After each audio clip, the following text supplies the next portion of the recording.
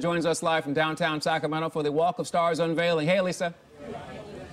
Yeah, absolutely. So the stars have been unveiled. The honorees are now taking their pictures here for posterity's sake. They're getting a chance to talk to each other. It's been really fun. Joining us now live, Steve Hansen, City Councilman.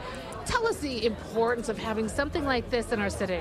Uh, well, it's great. You know, we, a lot of times we put plaques on historic buildings, but what about the people who have made Sacramento a great place? Our historic folks deserves the same recognition, and today's a down payment on that. We've got many more people than just the ones who've been recognized today, but they're wonderful folks, and they've truly distinguished themselves.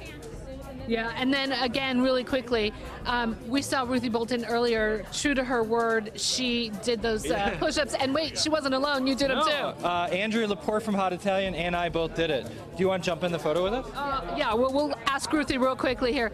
I don't mean to get in your picture, but Ruthie, what does this mean to you to be able to do then do those push-ups?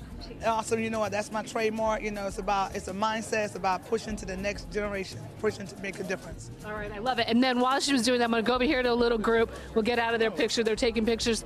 You guys sang a song to Ruthie, which I thought was really stunning. Tell me, can you see me a little couple tunes of that, A little bars of that?